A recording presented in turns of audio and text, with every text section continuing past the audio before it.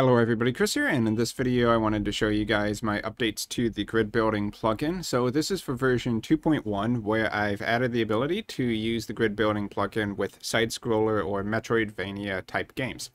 So one of the key differences between using the tile map grid for a top-down game and for a side-scrolling game is that the ground is not the tile where you're trying to place onto, but the ground is, in this case actually, uh, the tile under it. And not every single tile in your game you would want to be considered to be a ground tile, or a placeable ground tile rather. And you might also want to differentiate wall tiles, that would be on your left or your right, and ceiling tiles. So I don't know, maybe have like a spike on the ceiling, something like that. So for handling all of that, I added a new rule. So if I look at the placeable in this setup for a shop oak woods, like you see right there, then in the rule, we have raw existing side-scrolling ground, which is really just a saved version of new valid placement tile rule. So when you want to check the tiles in a certain area that they have a custom data set to the desired value, then that would be when you use this rule, valid placement tile rule. So if you want to check if the ground under you is set buildable to true, you can do that with this rule.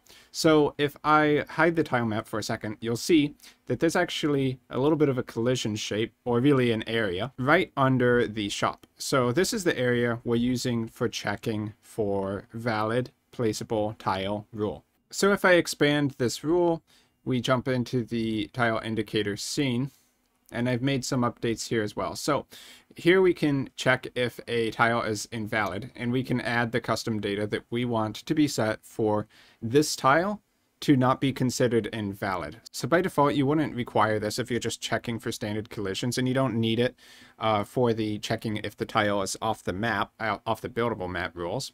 But this is an extra requirement you can add. So in these dictionaries, you can add the new key which is going to be the string name of the custom data you're setting on the tile map. And then the new value is whatever you want that set to. So a standard way of doing it is just going to be a Boolean, buildable set to on or true. But you can actually use pretty much any value you want. So the reason I set it up like that is that the custom data on tile maps can also be basically anything you want. So if we actually take a look at uh, the woods level, the tile map, and we jump into the tile set here, then you'll come down to custom data layers. That's where you add the custom data. So you can add a buildable as a boolean but you can see from this drop down that basically anything you can put in a dictionary can also be used here so if you wanted to match a custom data layer on something like color or string name you could do that as well and it would also be possible to have multiple includes so this is a dictionary so you can just add multiple key value pairs if you want to check multiple things like maybe buildable and used if you're going to mark tiles already used after a building has been placed. However, I found that having the used property is actually unnecessary uh, because when you place your objects into the scene on a custom mask layer, such as I'm using buildable tiles as my number 11 layer, then as long as the objects you place into the scene, let's jump over to the scene here, and then we have ground placement check as long as these objects have that same layer, then they're going to cause a collision for that tile collision indicator. So you might think, oh, but what if your tile collision indicator just wants to check ground? Well, that's why I've separated it so that different rules will uh, use different tile indicator templates. So if we go back to the main gameplay scene, and I know I'm jumping around a bit here, then on building system in the placement validator, where we have our base rules, you can see that you can set up your standard uh, tile collision indicator here. So in this case, that is the one where I'm checking the placeable area and making sure that there's no collisions whatsoever on, um, I believe it's just the ground layer one. But then down here, I'm using that separate tile collision indicator template that's specifically checking, once again, if the these tiles are marked buildable. So we can only place the shop if there's no collisions in this placement zone and if the area beneath it is all marked as ground. Okay, so let's go ahead and hit play, jump into the scene, and I'm going to select my buildable from the menu. So you'll notice two things here. One, I played around with the colors a little bit on the buildable uh, tiles, the ones underneath that need to match a buildable zone. So you'll see that these tiles, although they are tiles, are not buildable, but these ones on top are. And then for the tile collision indicators on top where the shop is, I hid all of those simply to make it cleaner. So let's place this shop into the area. Uh, now, one thing you might want to do for a side scroller is to make sure that your other characters are on a separate layer than your build layer because uh, you might want to be able to place a shop even when the character is right on top here. Since really, if you're thinking about it, the shop would be slightly into the background and then the character would be up front. So being able to place an object right behind the character would make sense for uh, this style of game. And you'll see that uh, wherever there is a shop that already has the buildable tiles used, that there's a collision on that layer. Since that's all happening on layer 11, those collisions are detected.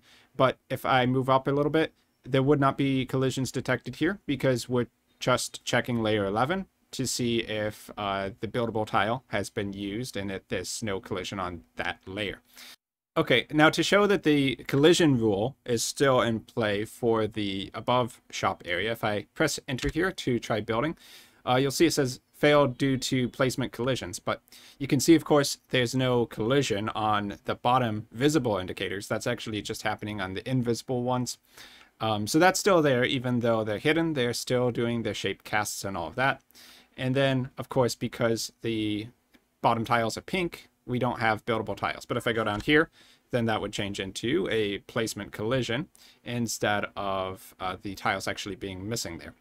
So that's uh, two rules validating, and then we get the results spit out there to the build log down below. So really quickly, if you didn't want your uh, hero and your enemies to um, show up as collisions with the build system, then just put them on a different layer. So here you can see I have layer 3 as the enemy layer, and for the hero over here, we have uh, the player layer being layer 2. So if your indicators are looking for layer 1, they're not going to be considered to be colliding with uh, layer 2 and layer 3. And just whenever you want the tile indicators to be created, just make sure that the mask on your indicator matches the actual collision object layers inside of your build scene. So uh, back in the build scene, of course, the shop oak woods, we can see layer 1 here. Uh, that would be for the main collision. And then uh, the placement area, which is the areas where I want to take up space, but not necessarily actual physical in-game collision. So that's on layer 10 here. So the players don't look at layer 10, so they won't collide with this placement area.